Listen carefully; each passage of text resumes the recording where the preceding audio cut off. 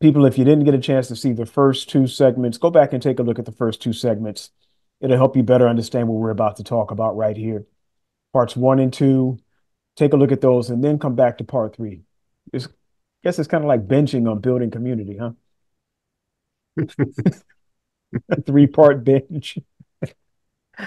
Marcy Morris. I don't know if there are people out there that are claiming that, but uh, it's a secret. It, it, it's, a it's their group. little secret that yeah, they don't have to.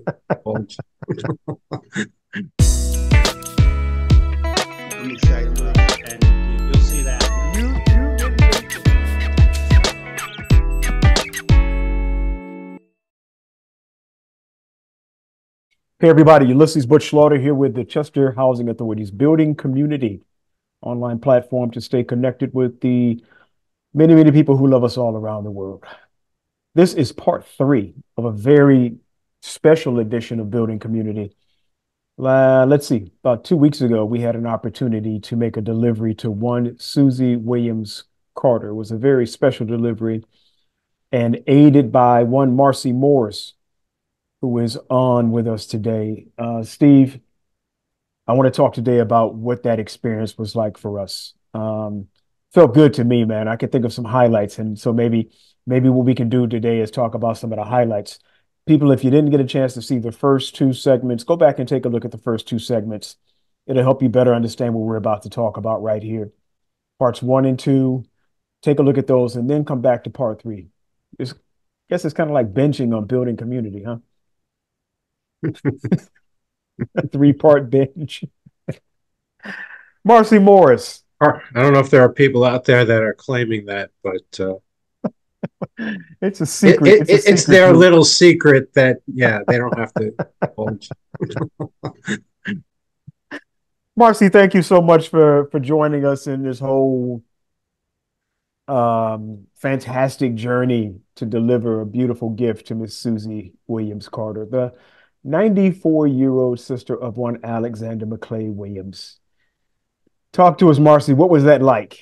Give me some highlights. What was it like to peel back the the uh, covering and and hand over that that wonderful picture? It felt like a a warm embrace. I was going to say warm welcoming, but it was like a warm embrace from Miss Susie before we actually I we actually embraced. There's a, a warmth and of energy in her home, and I just felt comfortable immediately.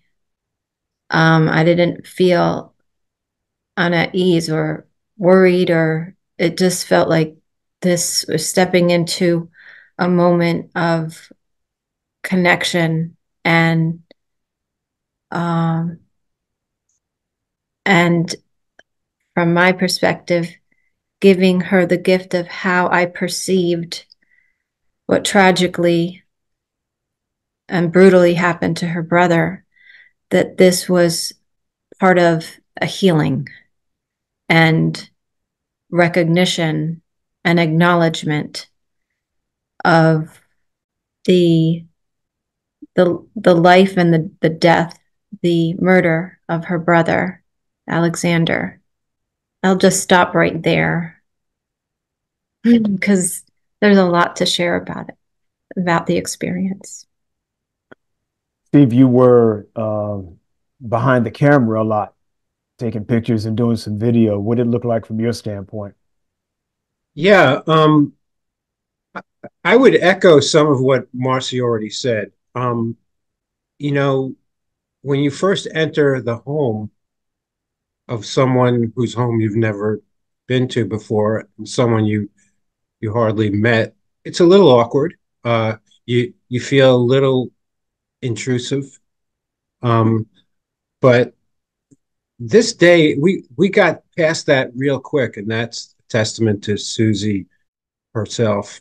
Um, she's a very welcoming uh, person, and uh, you know, a lot of what she talked about during our visit, which wasn't even directly related to her brother, uh, because uh, you know, you know, Marcy, there was this great chemistry between you and Susie that uh, just took off instantly, and that caused her to open up and, and talk talking about a lot of things, and um, uh, just uh, it, it, just all it made us all feel comfortable and you know connected to her.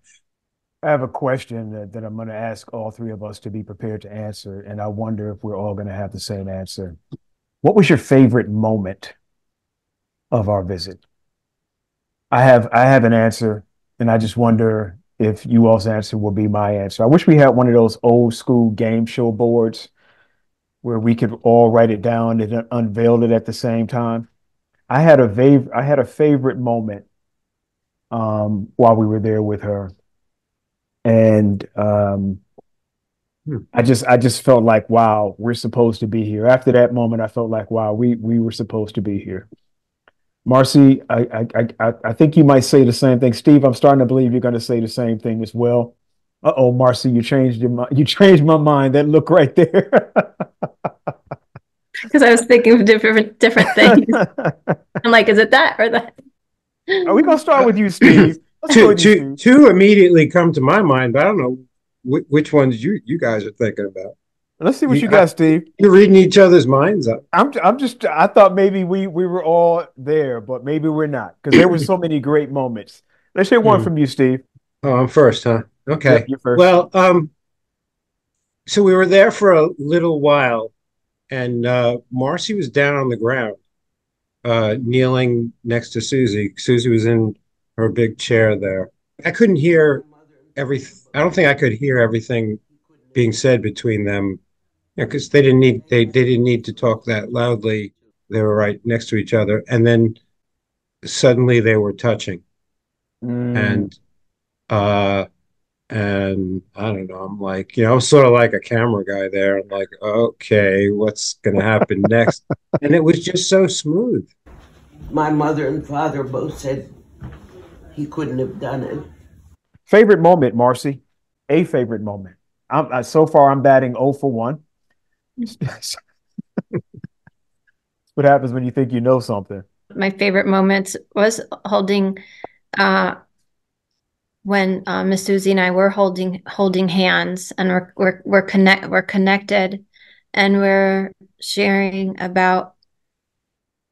Um, well, it was basically she said, You're my like you're my sister. I'm like, and you're my sister, and I love you, and I love you.